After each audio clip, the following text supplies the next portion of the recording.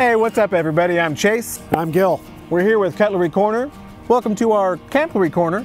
As you can see, the weather's warming up, spring is in full swing, summer's coming up, and we decided to take a little camping trip.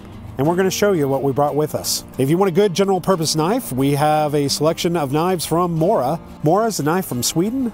For a good carbon knife, can't go wrong with Mora 511. But if you're of the stainless steel persuasion, you can also go with the Companion Spark, which also has a magnesium rod that sits flush in the handle now you may be thinking to yourself, Chase, Gil, how am I going to chop up all this firewood that we're going to need during the nighttime? Well, for that we brought an also Swedish made Hults Bruk camp hatchet, beautiful hickory on the handle, very sturdy, very sharp, carbon hatchet head, does come with a genuine leather sheath and a made in the USA sharpening puck. Going to definitely need to keep those knives sharp because the most dangerous knife you can carry is a dull one. That's right.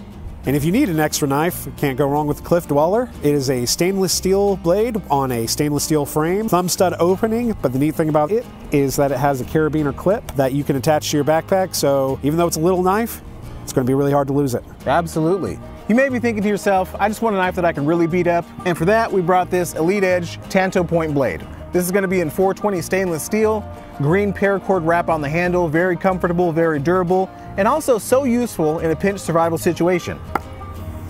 And you know, if you're a fisherman like me, you can't go wrong with Elite Edge's fillet knife, 420C stainless steel with a Staglon handle, which makes it nice and durable, but also flexible. I'll make a deal with you, Gil.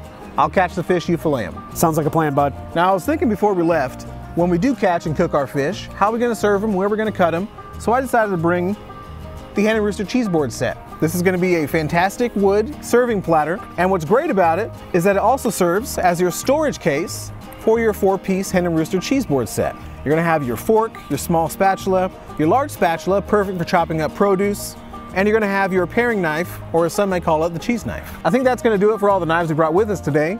You can find those and many more like them on our website, cutlerycorner.net. Don't forget to check out our Facebook, our YouTube, our TikTok, and it's time for us to set the tent up. All right, Chase, go ahead and grab that tent, bud. Didn't you bring the tent? I thought you brought the tent. We'll see you guys next time.